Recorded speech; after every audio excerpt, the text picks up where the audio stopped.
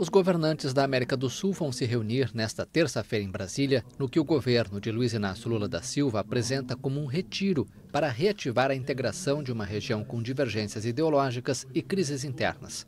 Com exceção da presidente peruana Dina Boluarte, os outros dez líderes foram confirmados e começaram a chegar para a primeira reunião regional de alto nível em quase uma década. Depois de serem recebidos um a um por Lula, os presidentes se reunirão em duas sessões primeiro com pronunciamentos individuais e depois para debate informal, seguidas de um jantar no Alvorada, residência oficial do presidente brasileiro. Todas as discussões serão a portas fechadas e uma declaração final com uma posição comum ainda não está garantida. A ideia do retiro, proposta por Lula, é que os países possam discutir com franqueza problemas comuns. Segundo a secretária brasileira para América Latina e Caribe, Gisela Figueiredo, o encontro terá três objetivos.